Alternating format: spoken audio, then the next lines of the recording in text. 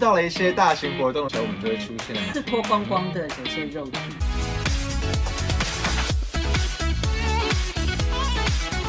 嗨，大家好，我是龙后。医师，Hello。同志游行愉快。在游行的时候，大家都在干嘛呢？倡议。好了，不要倡议了。之后呢，可能就会有很多的 after party 啊，可能会有很多的性生活，是一个人还是多多的人？大家有听过 PrEP 透过吃药的方式来预防感染在事前时的。嗯，异性恋、同性恋。男女老少，那先筛检，先筛检，先筛检。老人家，你说是不是的？阿妈，对，也可以就是如果有性生活，那很好，那恭喜他。好好好，大家都有蓝色小药丸，也有 PrEP，所以所有人其实都可以吃。天天吃，固定时间吃，最不容易忘记，最适合所有的人。对，没有 B 型肝炎，嗯，然后你也是是男同志，嗯，你可以计划你的性行为的话，其实你可以吃所谓的呃需要时的使用。我 B 型肝炎的人也建议就是天天吃，它可以同时预防 HIV，也可以治疗 B 型肝炎。你刚刚讲到 on 简单来说，性行为前两个小时就是两颗，隔二十小时再吃一颗，隔二十小时再吃一颗，所以到二一。可能预计特别容易打炮的话，你就要先提前吃。如果没有发生就是性行为，非常难过嘛，就后面的一加一就不用吃。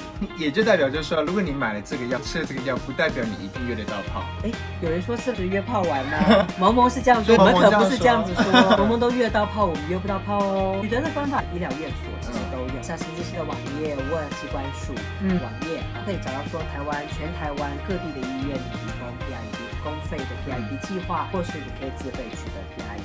它其实是一个药品，就是还是要必须在医院或是固定的一些诊所才能够取得。它是需要医生的处方签，需要医师经过检查，像包括 HIV、肝炎呐、肝肾功能这些的检查，你才会得到保障。要怎么取得？要先做筛检这件事。一定要先做筛检吗？哦，这非常非常重要。PIP 是给 HIV 阴性的人的使用，嗯，药物不足以能够啊有效的治疗 HIV。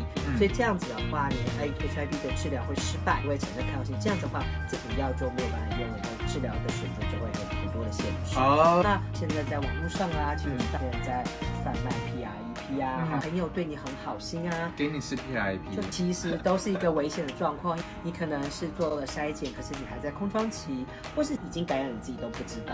那这时候吃 PIP 其实是是有风险的。所以大家打炮前还是要看我一下，打炮前还是要去找医生，就是要确定一下。这就是不要从朋友身上拿到 PIP，也不要在网络上乱买 PIP。是的，公费的计划，但是目前为止还是有自费的 PIP，费用已经不像以前那么。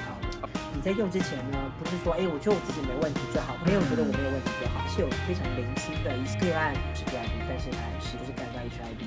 这通常都是跟他碰到这个 HIV 本身有抗药性有关，所以最后呢，要吃 PrEP 的话，一定要做筛检，一定要稳定服药，才可以达到有效的预防，对吧？如果只是用这个，就不用吃 PIP 喽。对，大家想要再了解更多详细资讯，看上面的链接，然后把它点进去。有任何问题的话，可以传讯息给新姿势。